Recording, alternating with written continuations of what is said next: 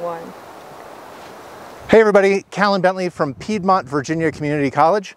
I'm in Montana and I'm in the Madison Range. In fact, behind me is the Madison River, or should I say where the Madison River used to be. Um, this is a really interesting place called Earthquake Lake. And if you look down at the lake here, um, you'll see that there's something interesting. There's a whole bunch of trees poking out of the lake. Those trees were all alive and perfectly happy when the sun set on August 17th, 1959.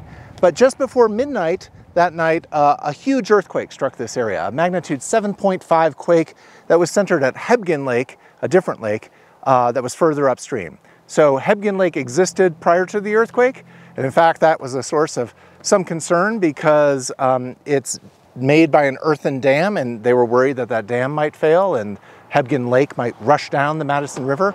But it turns out that an even greater catastrophe was playing out here. If you look at the, the far range of mountains there, you see a big bare spot.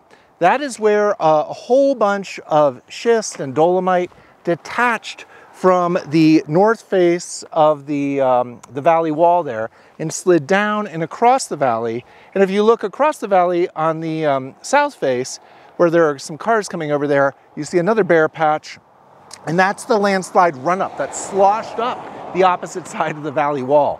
So the estimates are there was something like 27 million cubic meters of rock that moved in this landslide.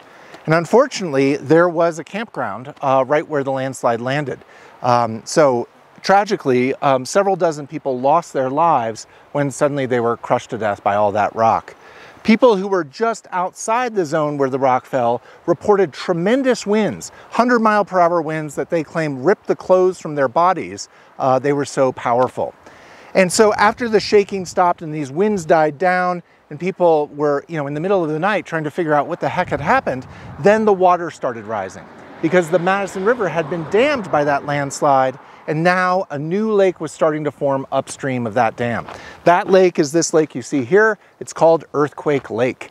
And um, it is 64 years old next month.